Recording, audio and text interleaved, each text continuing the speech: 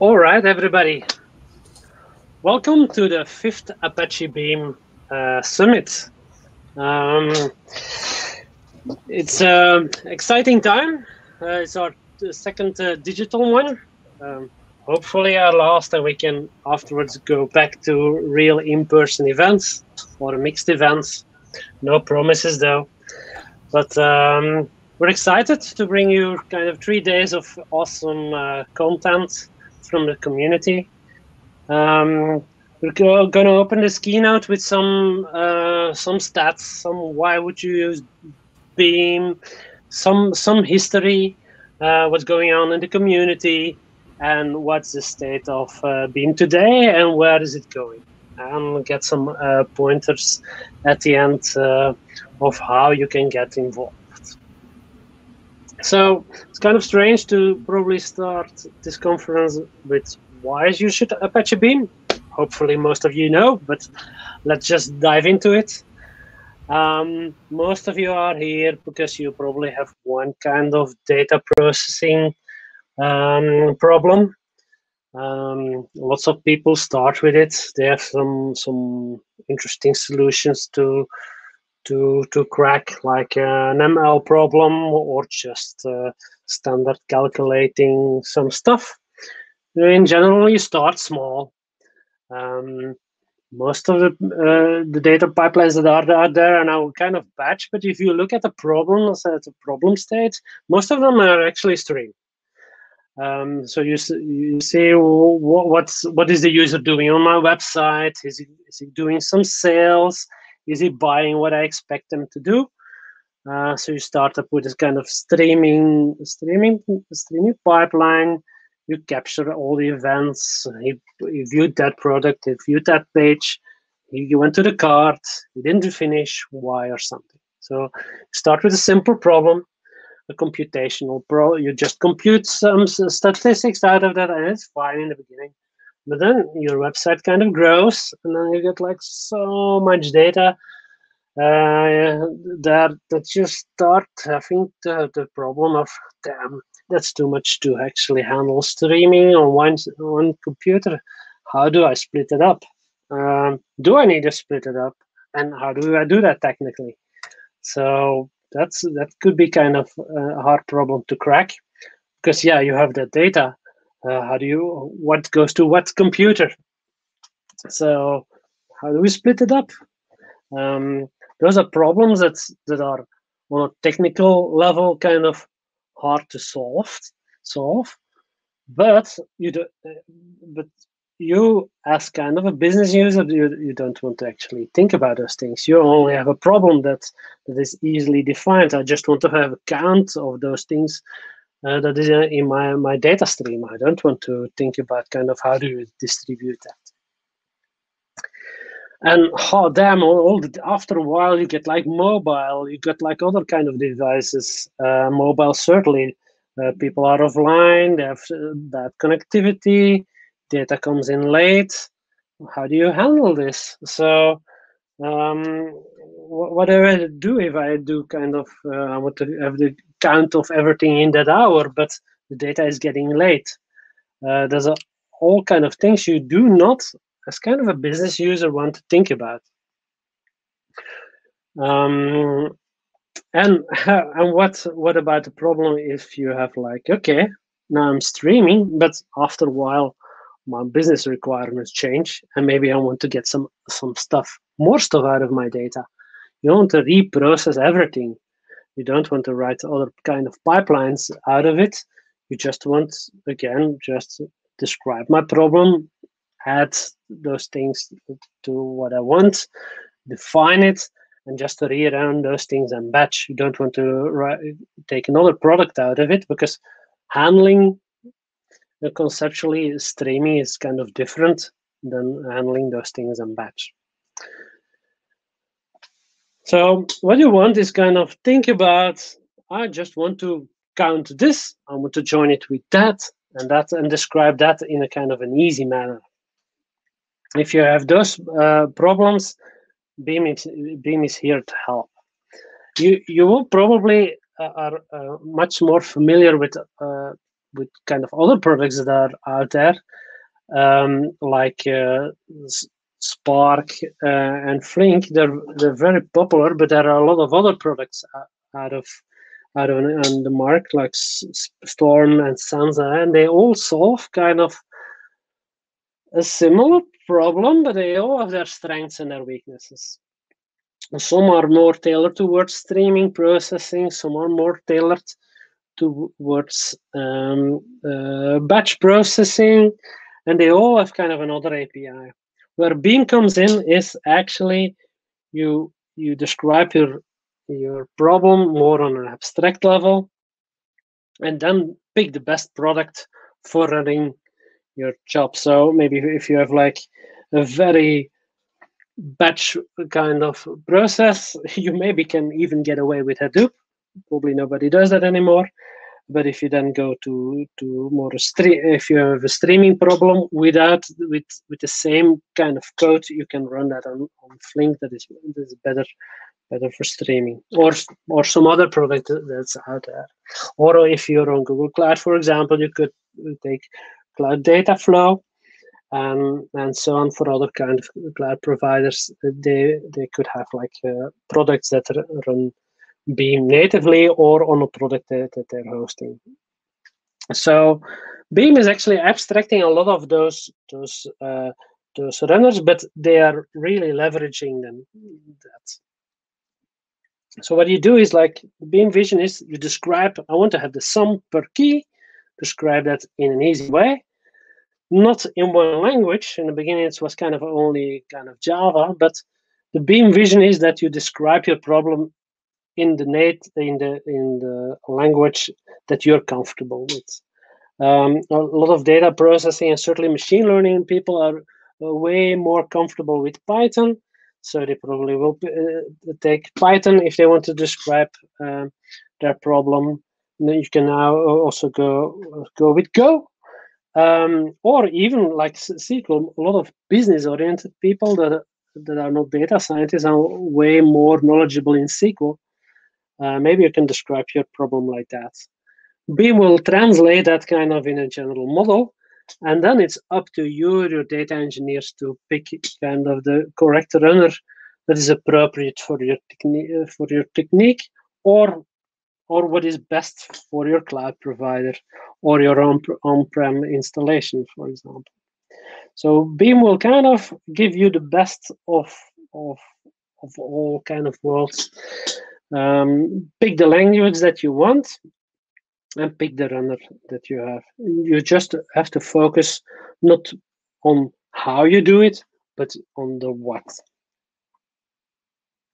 So that's what we we're, we're at. So the, you will have like lots of talk that go into detail how you can do those things uh, during this this summit.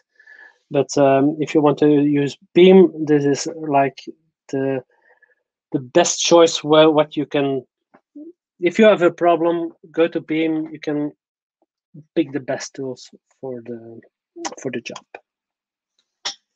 So beam is now at its fifth year since its kind of start in the the apache software foundation as an incubation project. It's like uh, our fifth anniversary.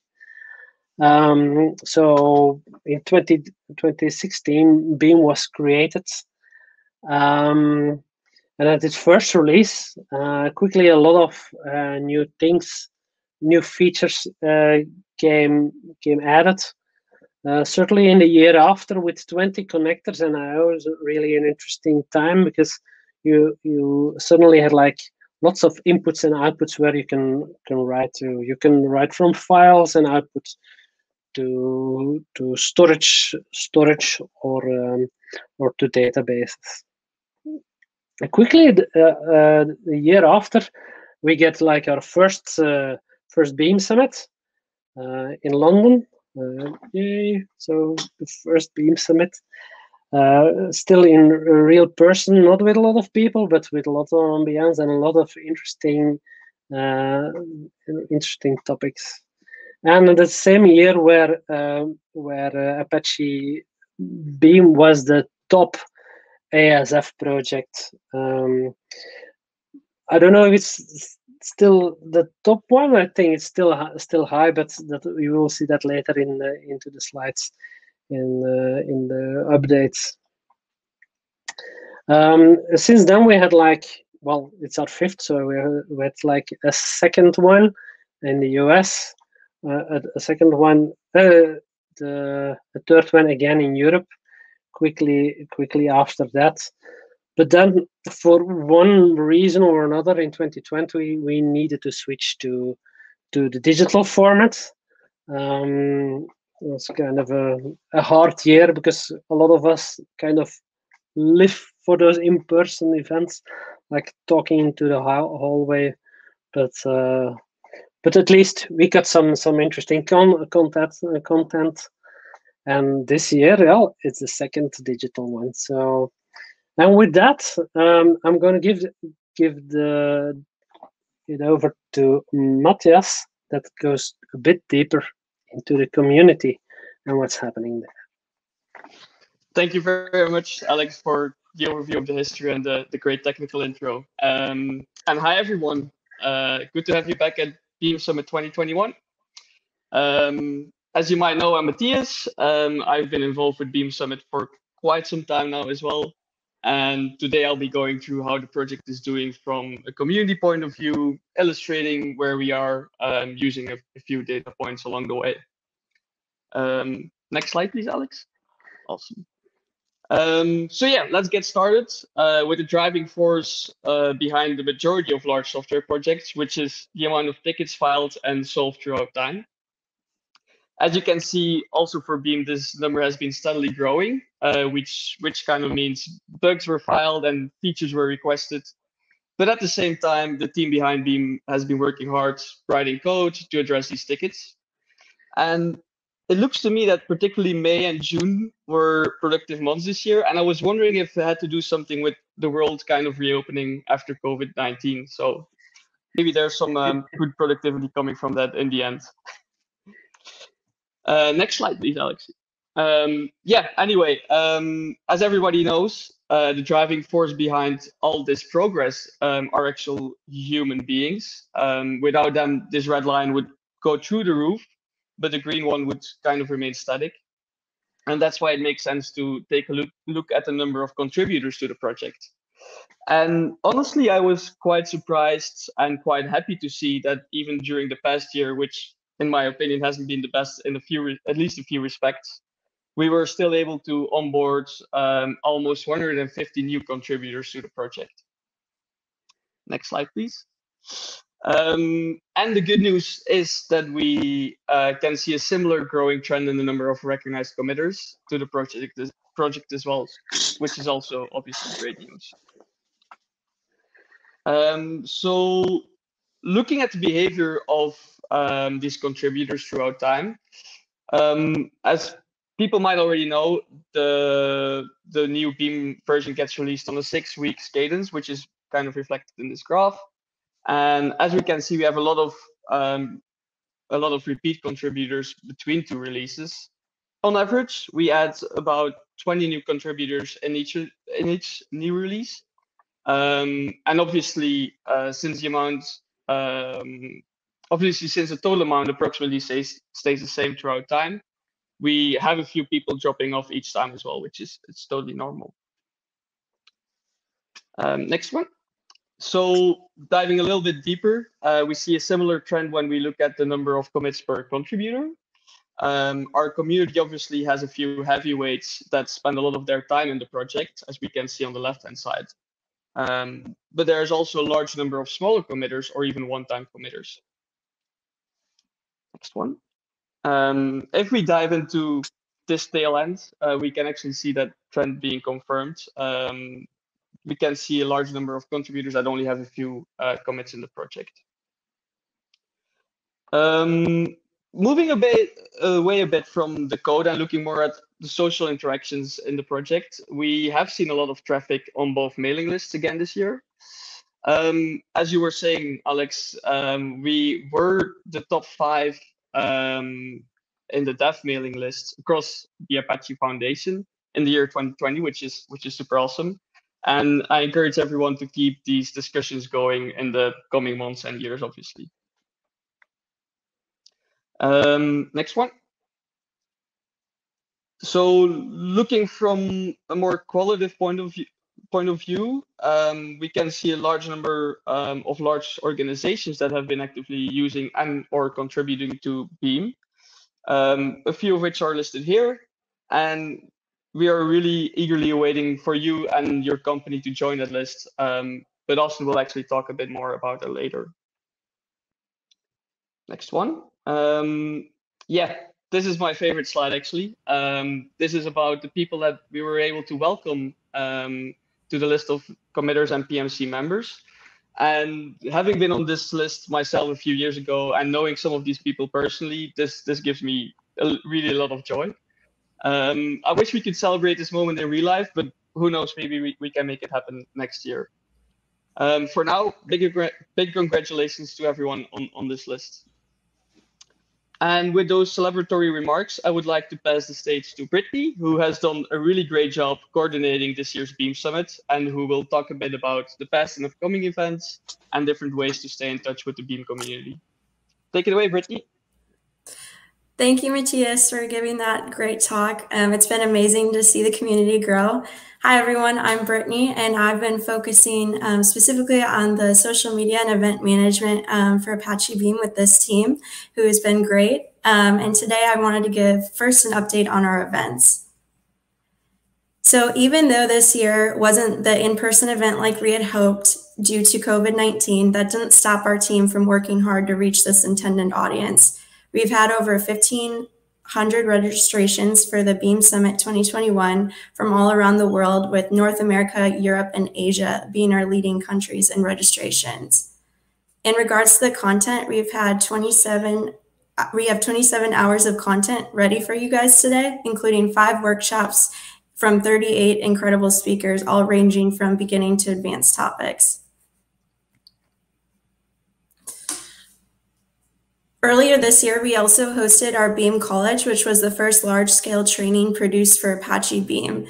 It was an outstanding event with over 1,300 registrations from 86 countries, 860 unique live viewers, and a total reach of 80,000 um, practitioners throughout the demand sessions. Our, all of our attendees included developers, data scientists, and data architects. And almost 50% of the registered participants had no previous experience from Apache Beam, which was incredible to see what they were able to take away from the event. In addition to those two large events, we also hosted a Beam Learning Month earlier this year in an English version, and we are planning to host a Spanish edition in October. We also have hosted a few Europe based meetups and plan to expand the meetup programs and frequency throughout the world in the upcoming year. For those of you based in London, we have some exciting news that in mid to late September, we are planning to host the 2021 Beam London meetup. If you're interested in being a speaker for any of these events, please feel free to reach out to myself or one of the other Beam event organizers. Next, I'd like to talk about our social media and ways that you can engage with the community.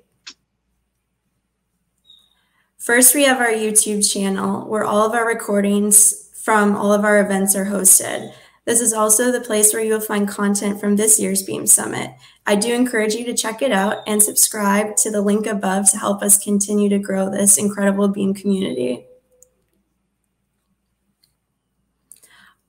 A good way, as always, to stay in the know about the Beam Summit and about our project is through the event's Twitter handle and the Apache Beam Twitter handle.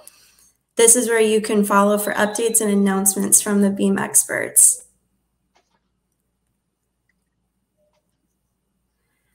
We also have a LinkedIn page where you'll find announcements and updates regarding the Beam Summit. So go ahead and follow us to stay in the know throughout our events.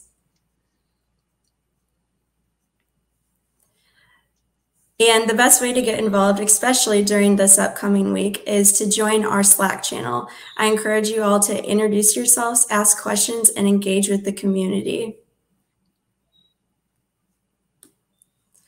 We also have our Beam website that was just revamped, and since we've had an impressive amount of growth of users visiting our site.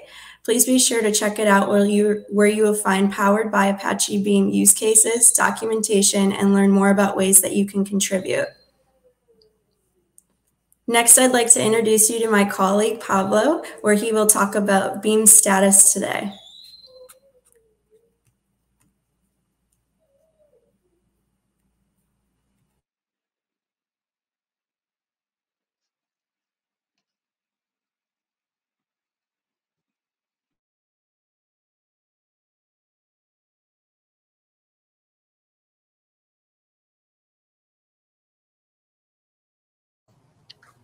Hi, everyone.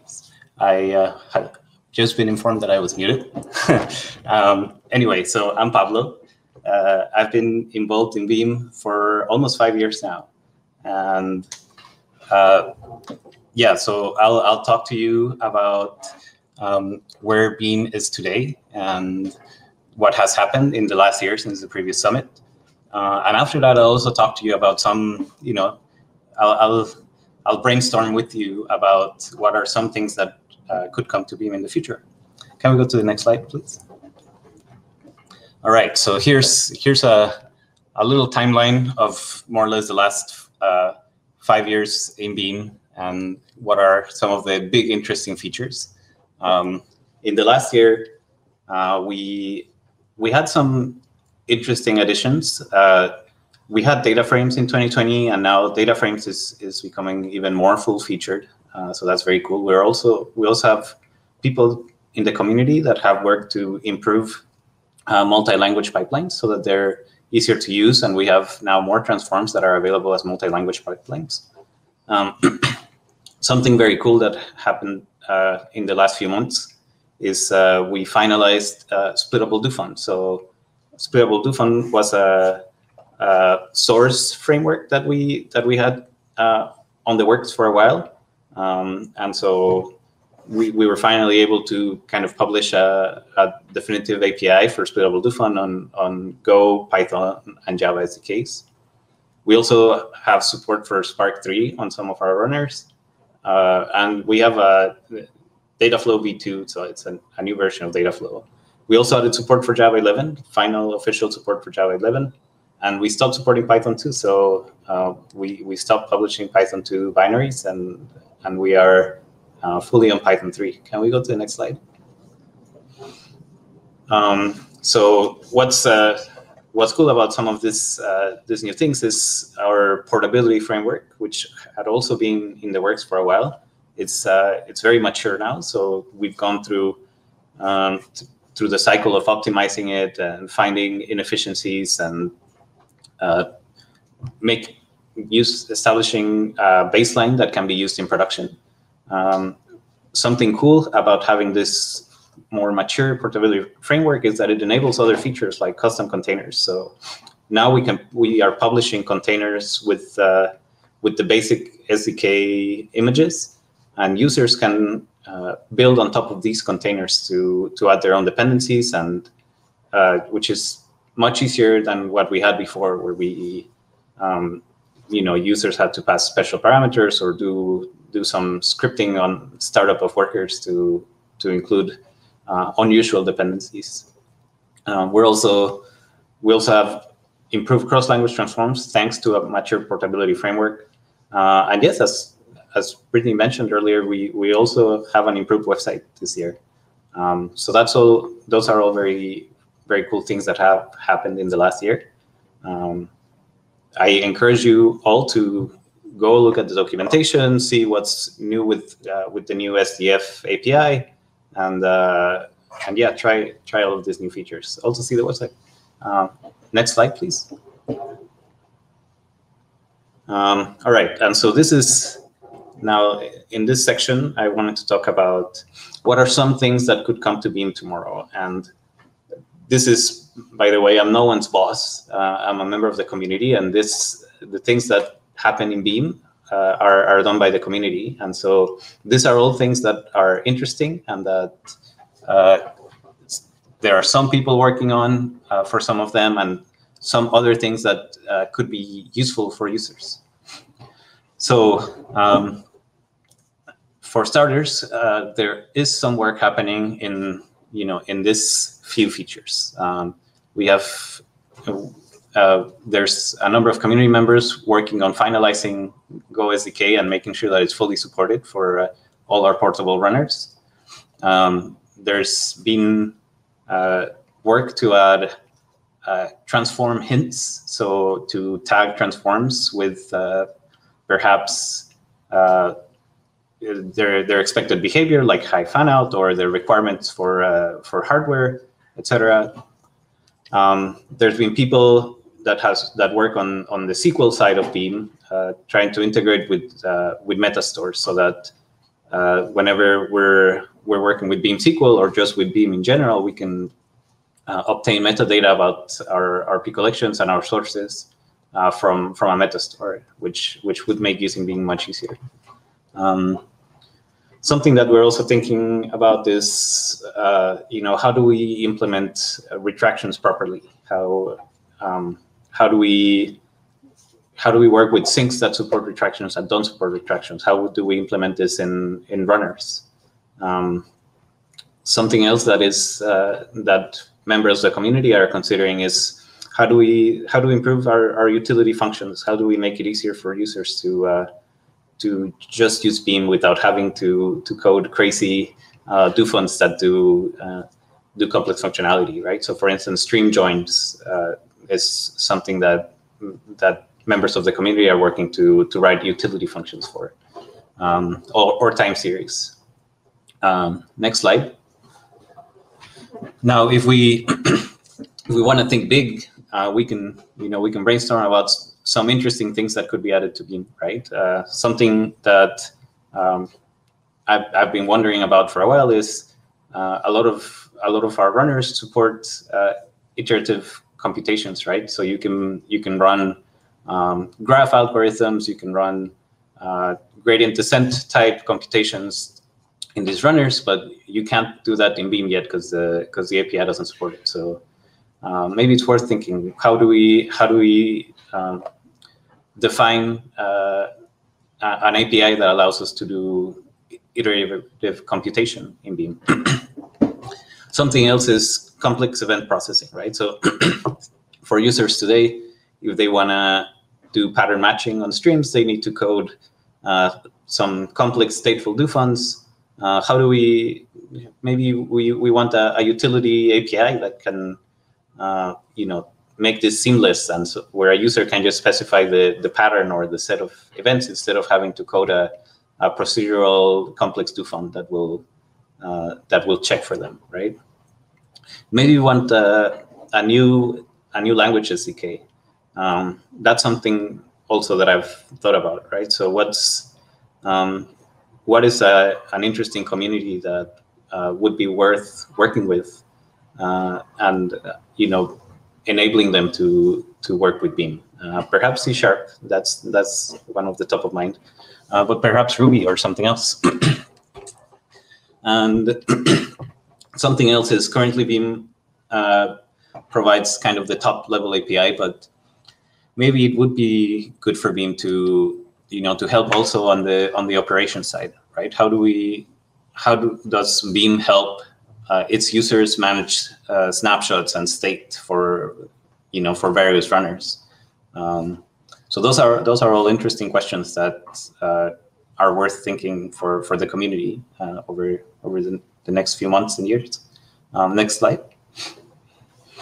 I picked a few um, very uh, a, a, few significant items that um, I, I, know people are thinking about and that would be um, would be very useful. Um, one of them is uh, how how do we bring some relational concepts into Beam, right? So we already have Beam schemas where uh, where PCollections have uh, uh, information about the data that they're encoding. Uh, they allow us to do, uh, you know, compile time checking of many things. Uh, well, not compile time, but pipeline construction time checking of of, of many things. Uh, and we also they also allow us to um, to integrate with sources and sinks, right? So there's a couple sources and sinks today that integrate well with uh, with schemas, where um, you don't really need to specify a format function on how you want to format your data to go into, let's say, BigQuery or you know JDBC. You just pass it a PCollection with a schema, and and you know we'll take that PCollection with a schema and write it to your to the sink uh, easily. But what if you know if we have a lot more information about schemas and a lot uh, and we we could be much smarter in at pipeline construction time, right? So, for instance, uh, can we do columnar optimizations? Can we say, uh, given this pipeline, we know that we only need a few of the columns from from our rows. So how uh, do we need to encode all rows? No, right? So we can make this optimization where we don't serialize all of the data. Um, perhaps we can reorder operations, right? Which is something that Beam cannot do today because Beam doesn't have a lot of information about what the transforms are doing within them, right? But maybe uh, maybe if we if we know information about the schema and about the operation inside a transform, we can say, okay, well, we're performing a filter here that we could perform much earlier and uh, save a lot of a lot of serialization, right? this would also, you know, increasing kind of the power of schemas and the, the scope of schemas can also help us uh, make the pipeline, you know, just work, right? So uh, a lot of time when writing a Beam pipeline is spent uh, figuring out what coder to use, figuring out, okay, how are we going to format this data to fit into the sink? How are we going to format this data that comes from this source? How are we going to format this data to, you know, match what this other transform needs? Um, but, you know, if we um, if we expand the scope of schemas and we, we try to bring in uh, relational concepts, we can also uh, build towards uh, a Beam SDK that just works, right? Um, so that's that's that's a cool area of uh, of work and worth thinking about. Can we go to the next slide? Um, something else that I that I have thought about myself is uh, dynamic schemas. So um, today, when when the schema in one of your PCollection changes, uh, what you what we what we tell users is well you just need to update your pipeline right re, re, snapshot your pipeline and, and start a new one uh, with the new with the new coders defined right um, and so this is this this works well but adds some operational complexity right you you need to um, you need to decide when you want to restart your pipeline you need to be very careful about when you change your your schemas um, how do we? So, so a question that I've asked myself over the last few months is uh, how how do we enable uh, pipelines to have schemas that evolve over time without having to to make the user update the pipeline or snapshot and restart the pipeline. Um, and then you know I've uh, we've also done some work on on CDC, so capturing changes from from databases, and and in, in this in these pipelines we have data coming from multiple tables, right? And so does it make sense to to have a single pipeline that can handle data from multiple tables and thus has multiple schemas? Uh, and so yeah, that's um, that's something that I've thought about recently and that I think would be very useful for Beam because it would help us to simplify operation of pipelines and uh, allow users to just start their pipeline and forget about it as long as all of the the schema infrastructure is, is set up. Um, next slide, please. Oh, yeah. Um, something else that um, I haven't spent much time thinking about, but I've heard here and there from from different people in the communities. Um, maybe I don't wanna I don't wanna keep running a, a, a streaming pipeline 24/7, um, but I also don't wanna run one huge batch pipeline every day, right? maybe I can run a batch pipeline every five minutes. And um, how how can we help users that have this need to perhaps manage their their snapshots or or the state for for previous runs of their pipelines, right? How do we uh, how does Beam add utilities to to help them restart their pipelines easily? How and uh, manage handle errors. Um, so that's that's another interesting uh, area of work that uh, that we could pursue. Um, next slide. Um, something else that uh, that would be very cool is usability improvements, right? So there's been lots of work on on data frames, uh, and they recently are, uh, are, going to kind of GA level, a feature that that it's fully supported. Um, what uh, something that members of the community I think about is okay, how do we the work that we've done for interactive Beam and the work that we've done we've done with data frames, how do we make them work together and uh, make it useful for users uh, that are perhaps using notebooks to to build their big data pipelines, right? Um, and something even simpler is um, because of the design of Beam, uh, it's a little different uh, to use than how people normally use uh, these data analytics frameworks like Pandas or Spark, um, where people can just have their their collection. They uh, they press the dot and they the autocomplete uh, will help them find the next transform that they want to use, right? Um, so wouldn't it be cool if Beam had uh, better auto-completion where users don't need to go and dive into documentation to find which are the utility transforms that they can use.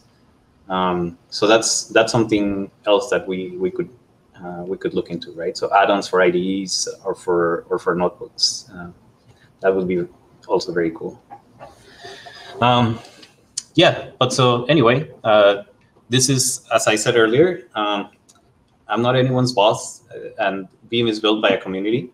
And so what we appreciate most is your feedback. So does any of these ideas, do, do they make sense? Uh, do they not? Do, this, do they sound crazy?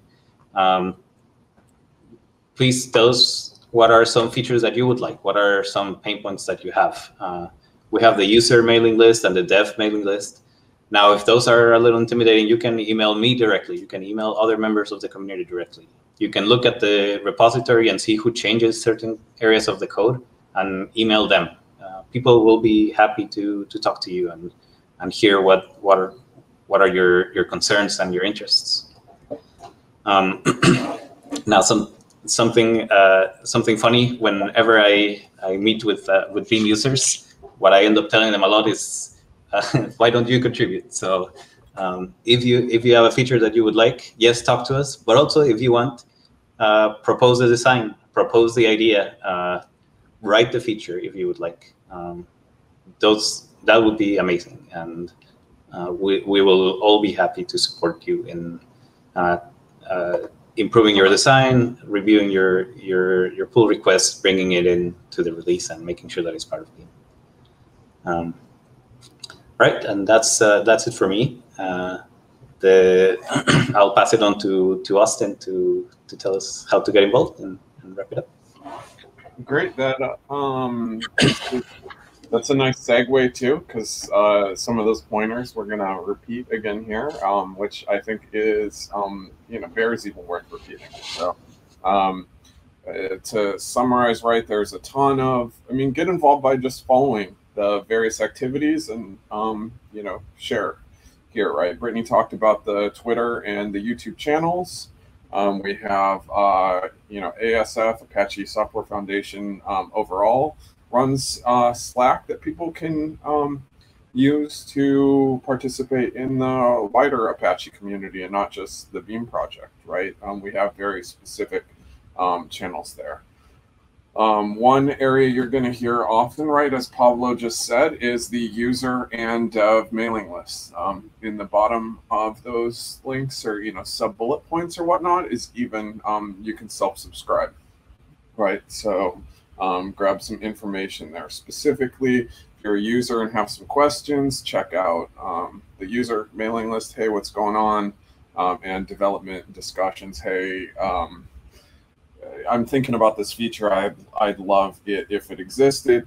Why can't someone build it for me? Maybe is one way to proceed, but as Pablo said, even better. Oh, I'd love this to exist, and I'm trying to make that happen. You know, will you guys? Would you guys welcome that? At which point, almost certainly the community is going to be like, oh yeah, sweet, we love uh, you know new people and let's uh, let's get some cool stuff done. So um, check out those mailing lists um, and then we got some more slides uh, next for some other bullet points. Um, okay so those were largely uh, communication um, bits. We have a few more points here but um, uh, bug reports are super valuable. Um, I mean, I guess can't say enough about contributions from just uh, concrete, repeatable. Uh, here, I ran into this trouble. Here's how. Uh, here's how to repeat that so that that can be fixed. Even if you're not, you know, feeling confident in fixing the thing yourself, um, being able to concretely identify where the problems are is very valuable. Um, I mean, I don't even think we have on here write some beam by getting involved, right? What is uh, can this be used to solve a bunch of problems for you? If you're, you know, in the space and attending here, probably that is the answer to that question is yes. Um, yeah, examples, make it easy, share, um, talk to the people in your company, your friends, etc. Right? Um, help grow this community. It's a very welcoming and open place. Um, Stack Overflow, uh, for those of you that are engineers, absolutely uh, ask your questions there. That stuff is indexed well, although so is the mailing list. But um, then, you know, for the usual Stack Overflow benefits, um, the link here.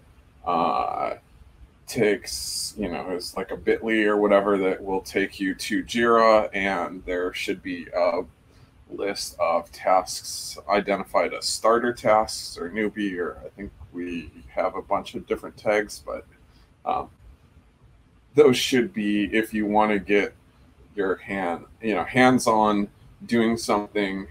Uh, there should be a bunch of tasks that are more tractable than others.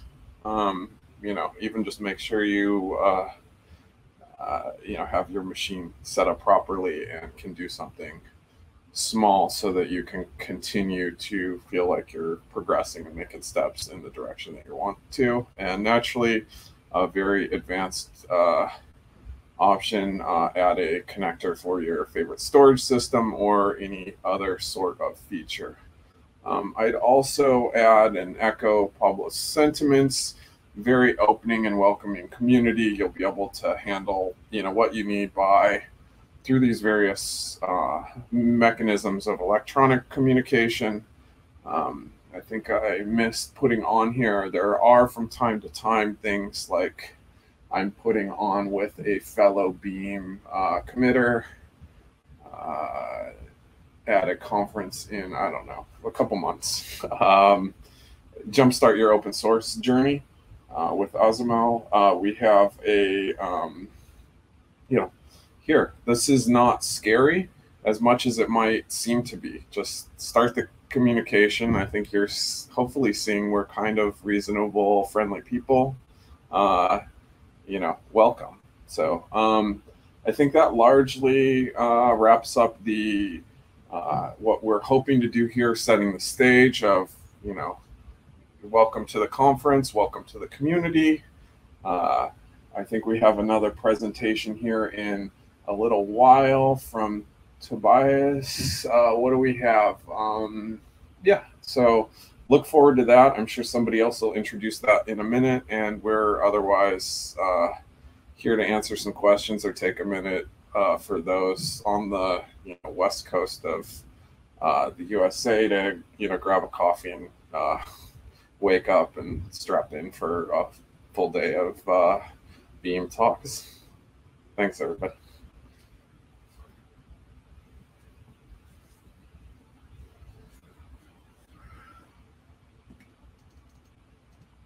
I've seen there's some questions that came in. Actually, maybe we can go through them. Um, I can start with the one I can answer, which is uh, how you can join the Beam Slack channel.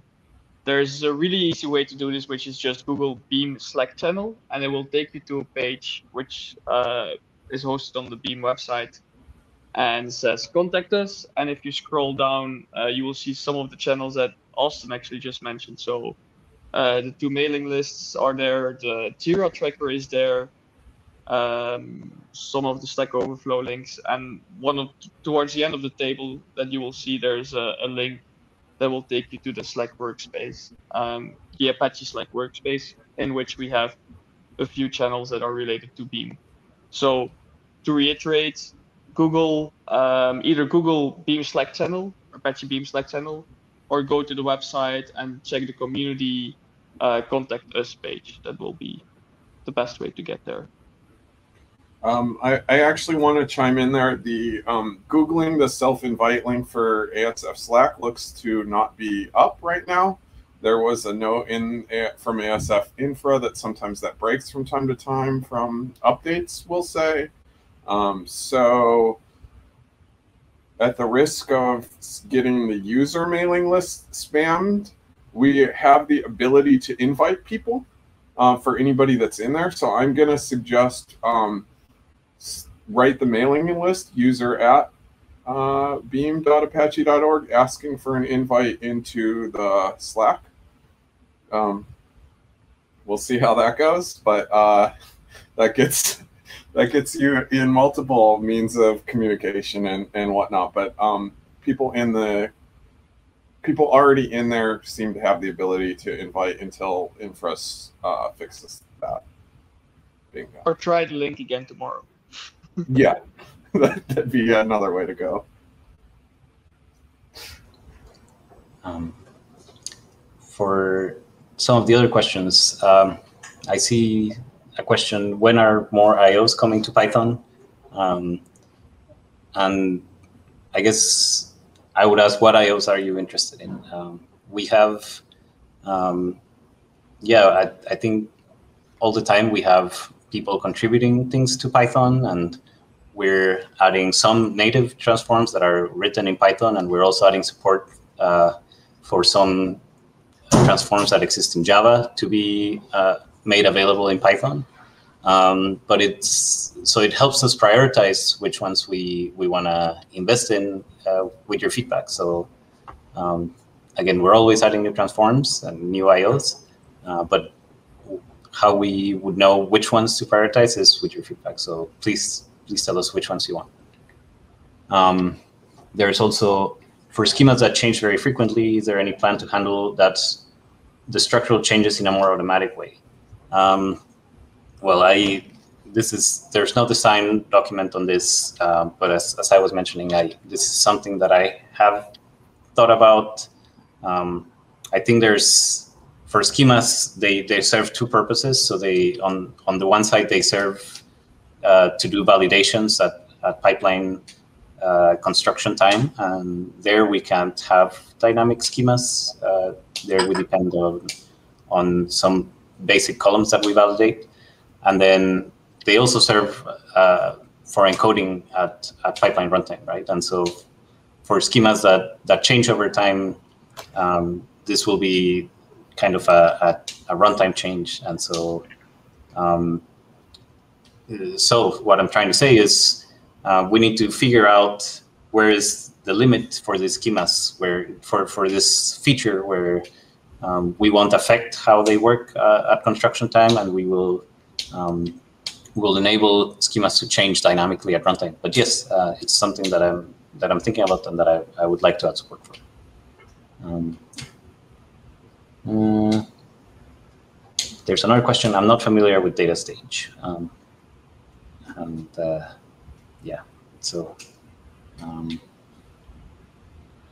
um, yeah, so those are the questions that were shared with us. Does, are there any other questions from the audience?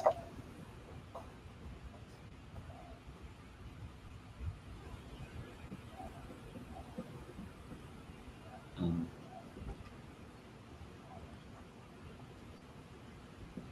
right. That's